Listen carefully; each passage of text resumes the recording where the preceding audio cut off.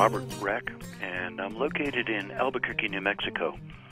And I have been since I started my career uh, 27 years ago. And I'm primarily an architectural, interior, hospitality, some lifestyle photographer. Mostly, I like to say buildings and rooms. And that takes me all over the country nationally, and as it also affords me opportunities to travel internationally. Pretty reliably every day, you're challenged with some kind of lighting mix on the interiors that requires problem solving. The First thing I do to solve these problems with interior lighting is to look around and see what my light sources might be. With a color light meter, I can determine them more accurately than I can by the eye I must admit that over so many years of experience, you get a good idea where they are, but it's best, in my experience, to validate them.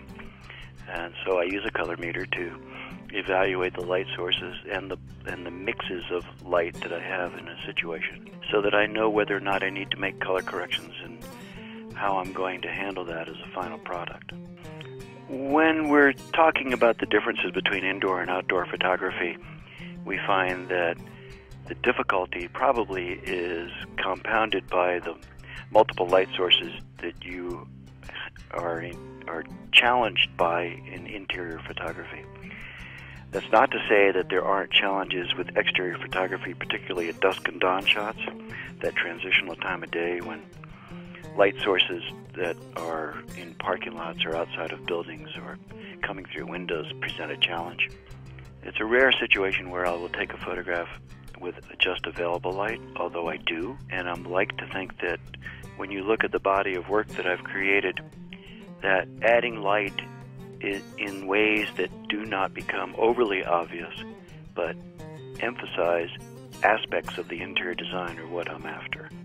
There are occasions when I subtract light from a situation, and I may use um, various blackout cloths or uh, block light sources, either with doors or mostly with felt, uh, to modify the either create more drama, create a graphic, more graphic image, and or just to eliminate a particularly bad source of light and then add my own back in its place. By bad source of light, I mean something that is going to be much more difficult to correct when the subtleties of blended light become difficult to correct in Photoshop.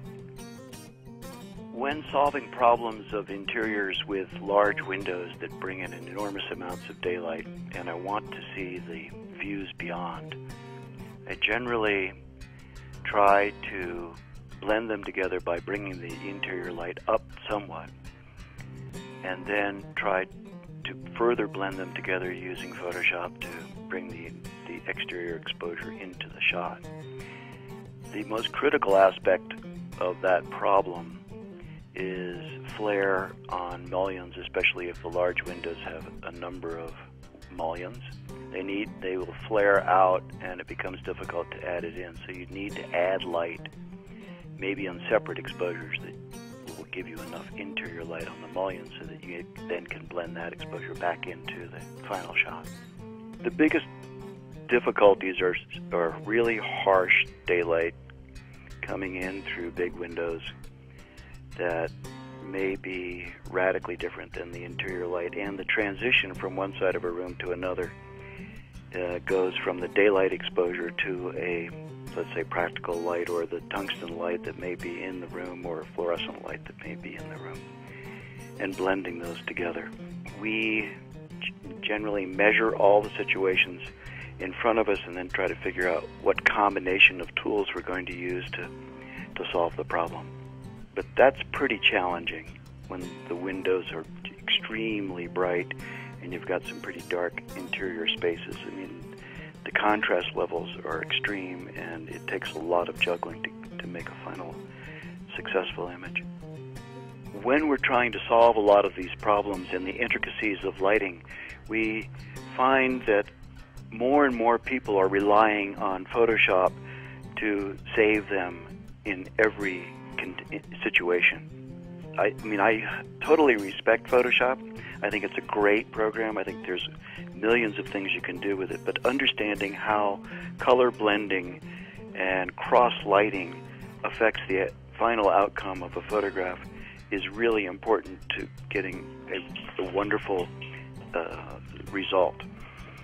And by that I mean you can fix colors coming in a window, but you can't fix easily without spending hours the, on the computer the cross lighting that you get in the shadow areas that would be more easily dealt with if you were to color correct the source. The advice I would have for a starting photographer uh, in arch- in the architectural realm would be to probably get some experience with a seasoned photographer. That would be a great way to learn quickly some of the complexities of interior photography. In addition to that, be sure that you familiarize yourself with the number of tools that are available to you, not only in meters but in Photoshop skills, so that you can integrate them successfully. And I think the experience on location and solving different problems is going to be the best way to grow quickly.